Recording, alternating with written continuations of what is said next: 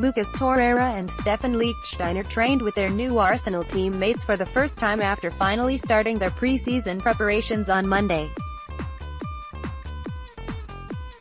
Torreira completed his £26 million move from Sampdoria on the 10th of July but was then given an extended break following his exploits with Uruguay at the World Cup. The midfielder has been enjoying some time with his family in South America but flew into London over the weekend and was out on the training pitches at London Colney this morning. Lichtsteiner was our first signing under Unai Emery after he completed a free transfer move from Juventus in June but his arrival was also delayed after he competed with Switzerland at the World Cup finals.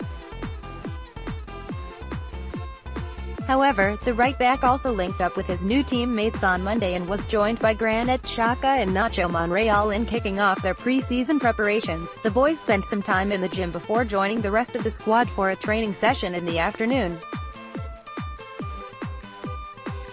Obviously the majority of the squad have been in training for a few weeks so the likes of Torreira and Lichtsteiner have a lot of work to do to get their fitness levels up to scratch but it's great to see the new boys finally with the rest of the squad.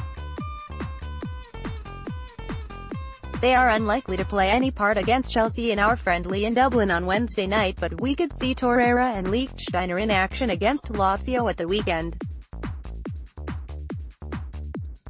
Here are some photos of them in training today, courtesy of Arsenal.com, embed from Getty Images embed from Getty Images they're here.